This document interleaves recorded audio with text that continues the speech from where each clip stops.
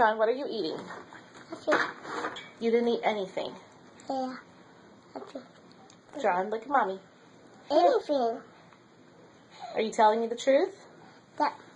You didn't have any snacks? Nope. Let me see. You didn't have any snacks. Open wide, let me see.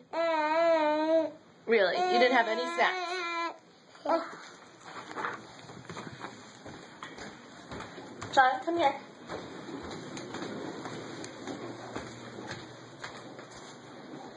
John, can you explain to me why, why the sprinkles are empty? Well, they're not empty. John, look at me. They're not empty. Did you eat those sprinkles? No. I did not. You know it's not nice to tell stories and to lie, right? Look at mommy. You're not supposed to lie. Tell me now. Did you eat those sprinkles? No. I did not. Yo, sprinkles. John, Hmm? you have sprinkles on your face. Oh, no. No. I did not eat sprinkles. Did not.